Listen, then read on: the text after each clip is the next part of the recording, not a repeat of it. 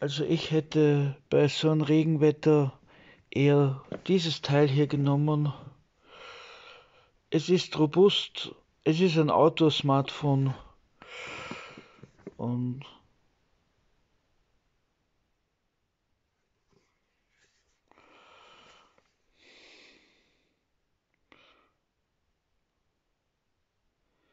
Schaut euch das irgendwann mal an. Es ist das Ulefone Amor X5 2019.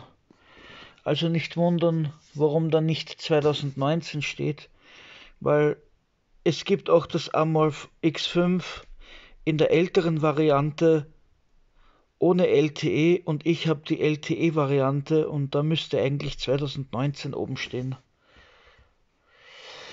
Sonst ist dieses Handy